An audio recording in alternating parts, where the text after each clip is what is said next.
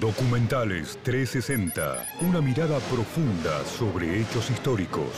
Este miércoles, El escape de Hitler, segunda parte.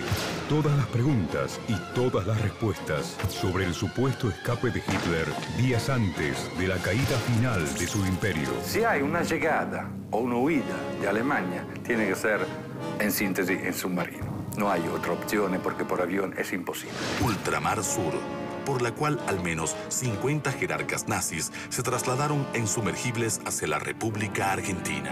Martín Borma, el 22 de abril, le puso un radiograma a su ayudante diciendo que da su acuerdo para el traslado a Overse Sur, que es Sur. Documentales 360. El escape de Hitler, segunda parte. Miércoles, 21 horas por 360 TV.